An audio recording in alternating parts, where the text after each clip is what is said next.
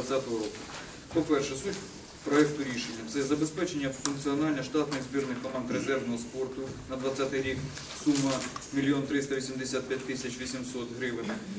Друге забезпечення виплати стипендій голови Полтавської облдержадміністрації для підтримки перспективних спортсменів області. В бюджеті 2020 року заплановані видатки в розмірі 4 мільйони 800 80 тисяч 700 700 гривень.